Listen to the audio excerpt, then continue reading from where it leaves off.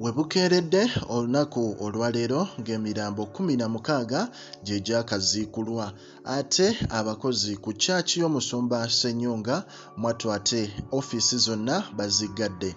Baagala musaala ku pregen media nkwebaza gwena gy'osinziira okuba nga ate ku mukutu kwoli ate ne nkwebaza okuba nga osubscribinga mwattu ate n'oba nga ate weewaayo kubanga ku mukutu amawulire gonna ogafuna bulungi nnyo. Dubai kata jordan saudi arabia bahrain oman yonna gy'osinziira tugamba oli big nnyo era weebale egyo gy'otuusaako engalo nga wowuliriza omukutu ogwa pregen media.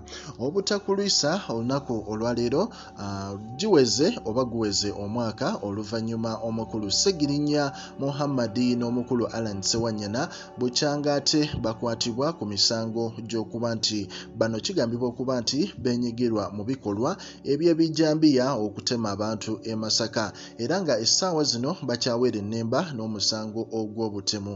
Era nga n'olunaku olwaleero ate omukulu matthias mpuuga n'abalala ab'ekibiina kya nup beetadde mu ddene ate ne balumba saidi zawali mu kkomera bagezeeko okuba nga balaba ku babaka bano. Oluvannyuma lw'okuba nga ate bawezezza omwaka mulamba nga bali saidi zeeyo mu kkomera ate nga n'essaawa zino teri amanyi ki kigenda kuddako olw'ensonga nti abakulu abavaayo ne balaga nti eyali mu musango gwabwe bamukyusa ate balina kuba nga ate babafunira omulamuzi omulala agenda okutandika okugutuulamu n'okuweera ennemba nagwo. Mu mawulire gaffe amalala mwattu ate ge mawulire agabadde saidi zawali ew'omukulu amanyiddwa nga pastor jackson ssenyonga. Omukulu ssenyonga ono bingi bizze bimwogerwako olw'okuba nti tasasula bannamawulire oba abakozi aba tv ye emanyiddwa nga top tv oba top media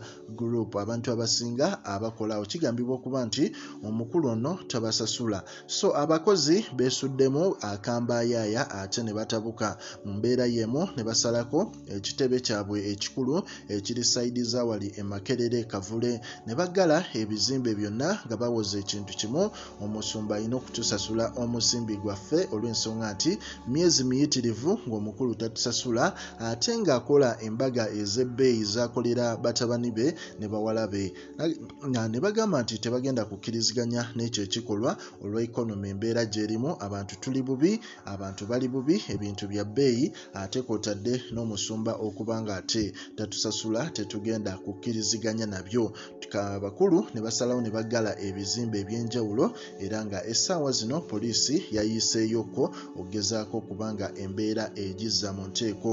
Tujja kuba tukubuulira biki ebivudde saidi zeeyo. Ate nga obukeeredde olwaleero ng'emirambo 16 gye bakaziikula mu bifunfugu eby'ettaka ebya bulumbulukuse e kaseese era okusinziira ku red cross waliwo abalala basatu abakyabuze ng'omuyiggo gw'okubazuula guzzeemu enkya ya leero. Abantu mukaaga bo baddusiddwa mu ddwaliro nga bataabwa era mu njego eno abantu 714 tebasigaza wa kusula era nga bano babuddamiziddwa ku kagere church of uganda. Era okusinziira ku mwogezi wa red cross society irene nakasiita agamba nti abantu beetaaga obuyambi obw'amangu naddala okulya ebyokwebikka era n'eddagala.